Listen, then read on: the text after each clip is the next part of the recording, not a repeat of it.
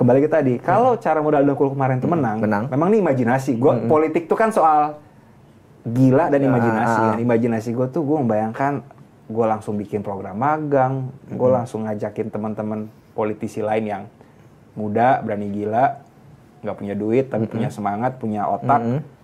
Yuk gue ajarin caranya menang gitu kan. Udah bayangin kayak gitu.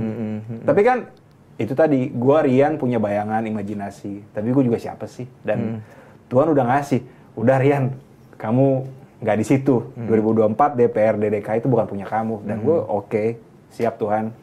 Hidup tuh penuh misteri, jadi ya jalanin aja. Dengan banyak kejadian di lapangan, faktanya tadi lo eh, kampanye orang minta duit, Yap. amplop dan lain-lain. siap. Terbesit nggak di pikiran lo untuk kayaknya memang gua harus ngeluarin amplop nih? Nggak. Meskipun Bahkan di saat-saat genting loh. Justru gue pernah kepikiran, wah apa gue tanda kutip menjamin kemenangan gue dengan cara aneh. Gue sempat mikir, cuma semalam sebagai manusia biasa. Jadi gue ngobrol sama beberapa politisi gitu ya, ngobrol ini gimana sih, gimana sih gitu. Gue sempat semalam mikir, mana ya? Terus gue langsung ingat di sebuah konten ada juga kok teman bisa cari nanti sama Bang Novel Baswedan di YouTube channel Ya. dia.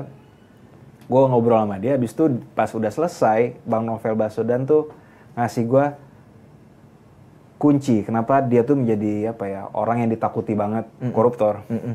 Dia bilang apa tuh? Apa? Konsisten. Itu yang buat gue stuck, nempel di gue. Kalau gue bilang Rian itu pengen transparan, nggak pengen korupsi, pengen betul-betul hubungan itu nggak transaksional, ya konsisten aja.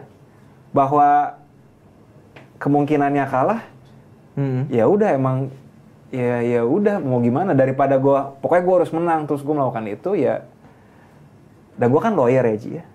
Kalau gua mau nakal setiap amplop yang gue sebar itu kan satu pembuktian gua ngelanggar Melanggar. undang-undang pemilu. Undang-undang pemilu tuh ada pidana ya loh Ya. 4 tahun atau lima tahun.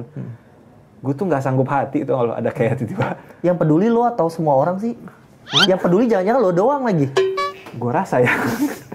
Mungkin karena gue dilatih di hukum UI bener-bener menurut gue hukum tuh ya bener kalau nggak cuma macan ompong kali ya meskipun ya itu tadi undang-undang soal bagi-bagi uang ada ada Ada. pidananya ada Ada. tapi kagak ditindak itu mungkin masalah lain ya tapi buat gue Kalau undang-undang bagi bansos ada nggak sih? Nggak deh.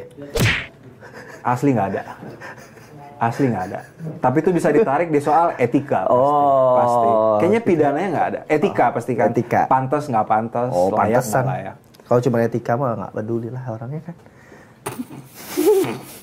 Pinggir jurang barusan